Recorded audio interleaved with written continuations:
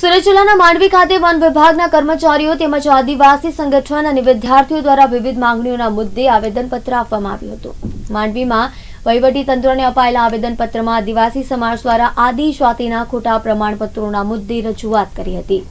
વહીવટી તંત્રને આપવામાં આવેલા આવેદનપત્રમાં જણાવાયું હતું કે ગુજરાત રાજ્યમાં બાર જેટલી જ્ઞાતિઓને ખોટી રીતે અનુસૂચિત જનજાતિમાં સમાવેશ આપવામાં આવતા તેમના સમાજનું અહિત થઈ રહ્યું છે. સાથે સાથે વિદ્યાર્થીઓએ પણ એસટીની અનિયમિતતા દૂર કરવાના મુદ્દે રજૂઆત કરી હતી. આ ઉપરાંત જંગલ વિભાગના કર્મચારીઓએ પણ તેમની પડતર માંગણીઓના મુદ્દે આવેદનપત્ર આપી રજૂઆત કરી હતી. અનુસૂચિત જનજાતિના જે ખોટા જાતિ પ્રમાણપત્ર લેવાનારો અને આપના આપનાર વિરુદ્ધ કાર્યવાહી કરવા બાબતે તો સોનગઢ તાલુકાના જે બોરદા તાલુ બોરદા આદિવાસીઓના ઝૂંપડા જે સળગાવી દેવામાં આવ્યા છે અને આદિવાસીઓને ઢોર ઢાંખરથી અમાનવીય રીતે માલિકીનું જે જમીનમાંથી એમને બેદખલ કરવામાં આવ્યા છે, તો તે હોદ્દાનો દુરુપયોગ કરવા માટે જંગલ ખાતેના અધિકારીઓને વિરુદ્ધ કાર્ય કાર્યવાહી કરવા બાબતે. અને આ બાબતે જો કોઈ કાર્યવાહી ન કરવામાં આવે તો જે આ વિદ્યાર્થીઓ છે તે મોટું એવું આંદોલન છેડશે.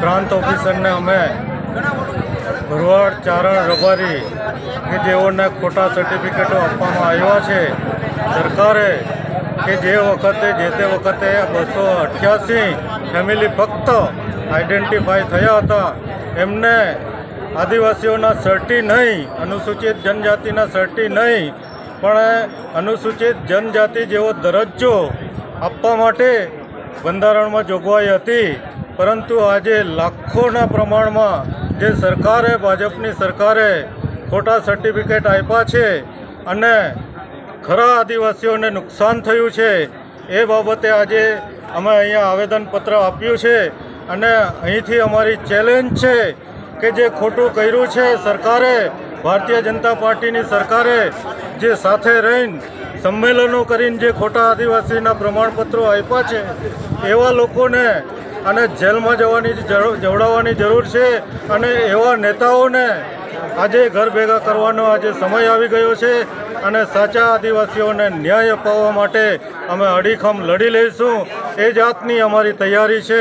એ વાત આ લોકો સરકાર જાણી લે એ હું ચેતવણી આપું છું આ મંચ પરથી. આ જંગલ ખાતાનું શું છે?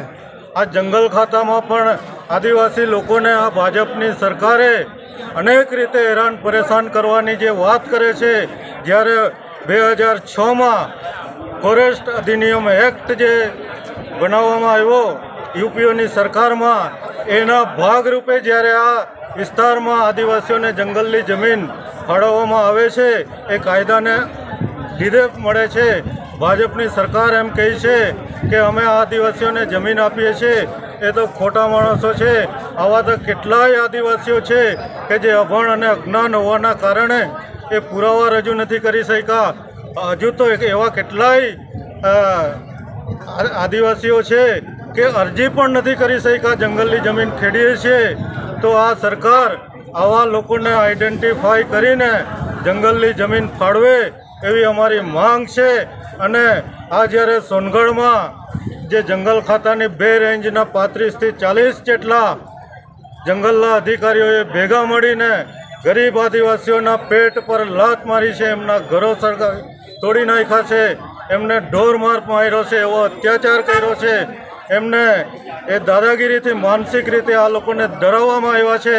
આ બધી દાદાગીરી પણ આ સરકારના ઇશારે થાય છે એ વાત પણ હવે લોકો સમજી ગયા છે. અને આ સરકારને, ભાજપની સરકારને ઉખાડીને ફેંકવાની તૈયારી કરી દીધી છે આ આદિવાસીઓએ. અને આ જે જંગલમાં જે ખેડતા વર્ષોથી ખેડે છે, એ આદિવાસીઓને જંગલની જમીન ફાળવે. અને હાલમાં જે ખેડતા, જંગલની જમીન ખેડતા આદિવાસીઓને કોઈ પણ સંજોગે ફોરેસ્ટવાળા પરેશાન ના કરે, એવી આ સરકારે સૂચના આપવી પડશે.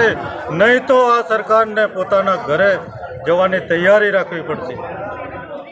હું ખેંગાર દીપા.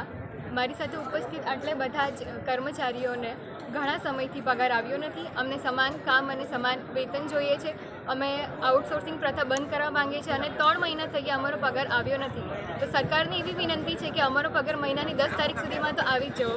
જોઈએ